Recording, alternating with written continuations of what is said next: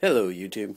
Well, my Xbox decided to give me the open tray error, which is the issue with the DVD drive and the lens not working properly. Well, this is what happens when you do that.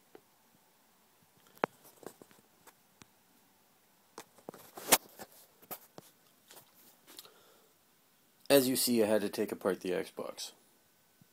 Hopefully this time it works.